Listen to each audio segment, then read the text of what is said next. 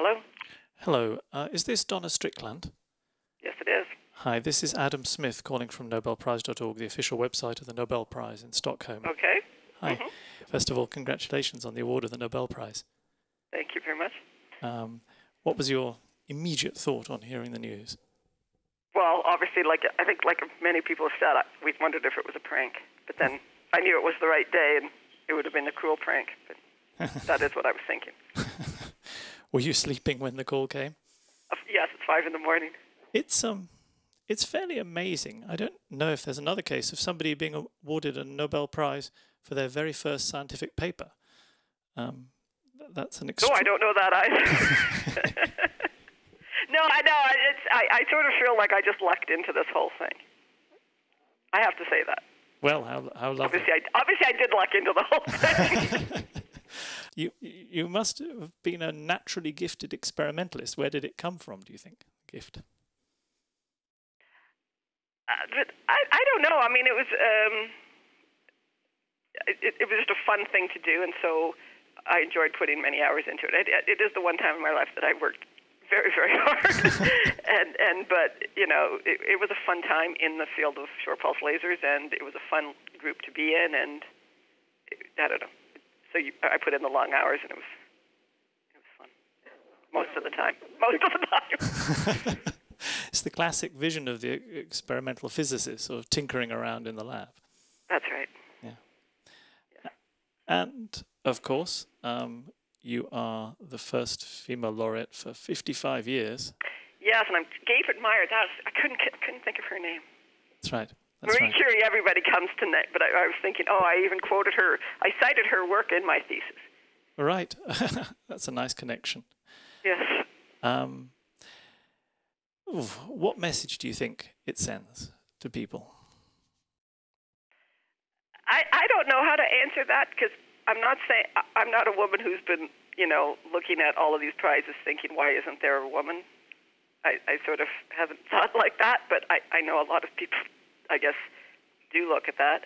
Um, I don't know. I, I hope. I mean, I certainly tell the Maria Goeppert Mayer story, and I'm happier that life isn't like that. So I'm glad there were trailblazers like her and Marie Curie. That's right, because she, because she she, did. she didn't get to have a paid job for the longest time, right? She didn't Yeah. really get to be recognized as a scientist, even though you know she was doing incredible work, right? I think she won hers in, in the 50s or It was right, and yet 63 she was awarded. 63, and and the work I cite for her started the whole field of multiphoton ionization, which was the first thing that art laser was used for in, in my thesis.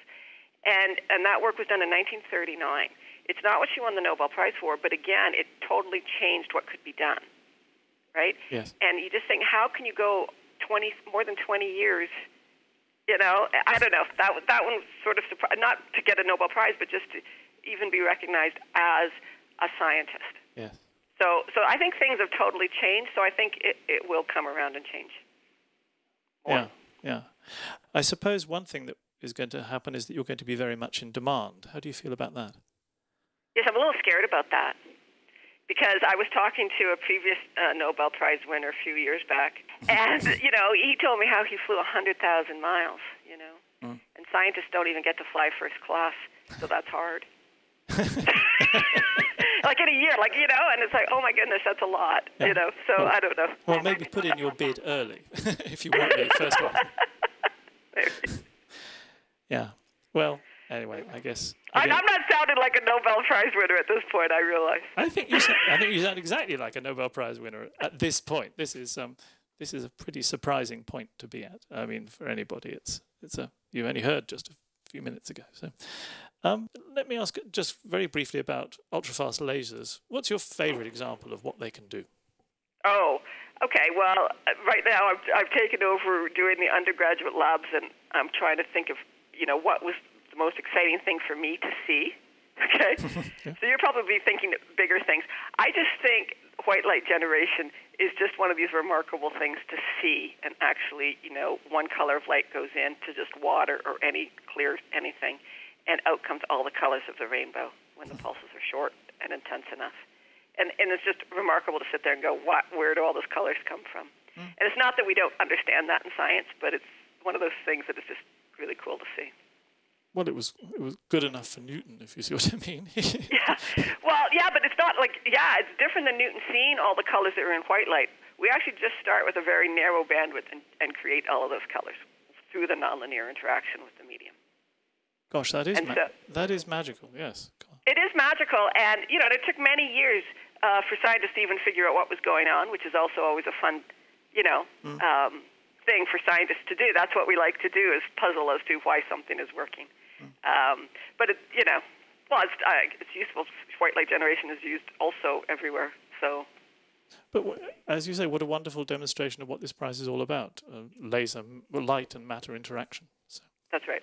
Yeah. Well, goodness. Um, well, we'll learn a lot more about all this when you come to Stockholm in December. We very much look forward to welcoming you. Well, thank you very much. It, it, it's it's a joy to speak with you, and I very much look forward to meeting you um, in December. Thank you, and I certainly look forward to getting there. Well, good luck with what will undoubtedly be a very busy day. yes, thank you very much. bye bye. Bye bye.